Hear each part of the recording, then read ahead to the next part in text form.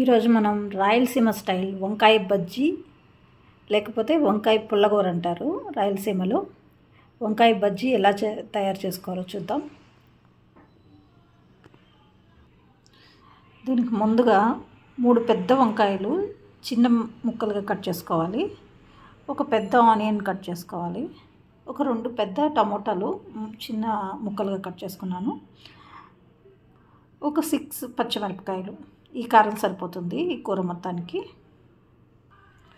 వీటిని కుక్కర్లో ఉడికించుకుందాం. వంకాయ ముక్కలు వంకాయ ముక్కలు కుక్కర్లో తీసుకుందాం. తర్వాత హాఫ్ ఆనియన్ మాత్రం ఈ వంకాయలతో పాటు ఉడికించుకుందాం. హాఫ్ ఆనియన్ తాలింపులోకి వేసుకోవచ్చు. హాఫ్ ఆనియన్ ఇందులో వేసుకుందాం. పచ్చిమిరపకాయలు. సిక్స్ పచ్చిమిరపకాయలు సరిపోతాయి దీనికి. రెండు టమాటా ముక్కలు. కొద్దిగా చింతపండు యాడ్ చేసుకోవాలి. హాఫ్ స్పూన్ పసుపు యాడ్ చేసుకోవాలి. రుచికి సరిపడా సాల్ట్.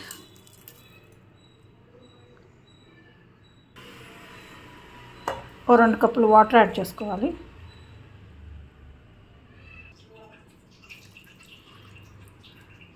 ఇంకా కుక్కర్ పెట్టుకొని త్రీ విజిల్స్ వచ్చే వరకు ఉడికి ఉడికించుకోవాలి.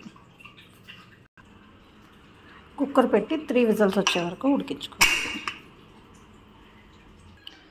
వంకాయ ఉడికిపోయింది.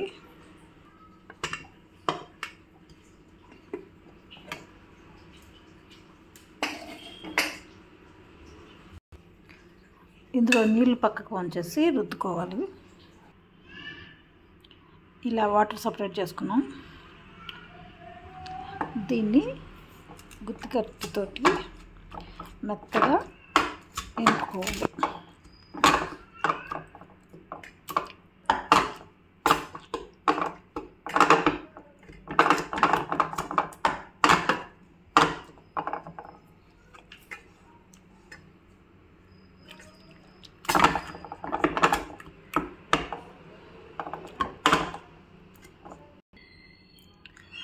ఇలా మెత్తగా రుద్దుకోవాలి.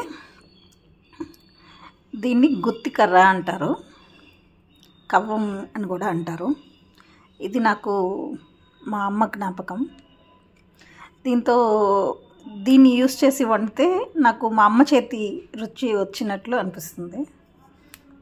సో దీంతో నాకు అంత మెమరీ ఉంది.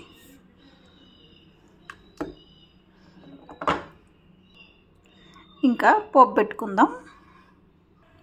పాన్ పెట్టుకొని ఒక స్పూన్ ఆయిల్ వేసుకుందాం. ఆయిల్ వడే ఎండుమిరపకాయలు యాడ్ చేసుకుంటాం. హాఫ్ స్పూన్ ఆవాలు హాఫ్ స్పూన్ ఉద్దిపప్పు కొద్దిగా కరివేపాకు హాఫ్ ఆనియన్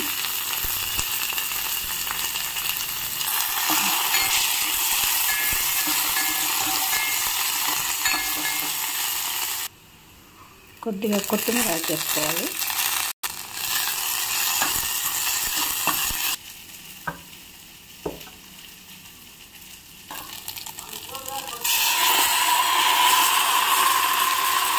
రుద్దుకున్న వంకాయని యాడ్ చేసుకోవాలి. పక్కన తీసుకున్న వాటర్ కూడా యాడ్ చేసుకోవాలి. పక్కన తీసి ఉంచుకున్న వాటర్ కూడా యాడ్ చేసుకున్నాం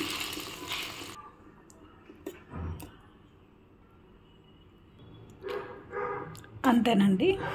వంకాయ బజ్జి కూర రెడీ అయిపోయింది. వంకాయ పుల్ల కూర అని కూడా అంటారు రాయలసీమ సైడ్.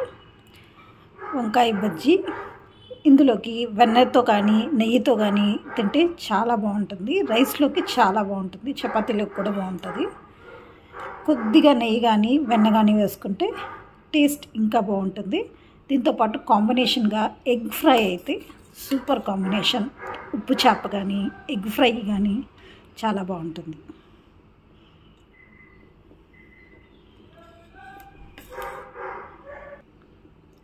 వంకాయ బజ్జి కూర. వంకాయ పుల్లగూర. రాయలసీమ సైడ్ చాలా చాలా ఫేమస్. ఈజీగా తొందరగా చేసుకోవచ్చు. వంకాయ బజ్జి లేదా వంకాయ పుల్లగూర అని పిలుస్తాం దీన్ని.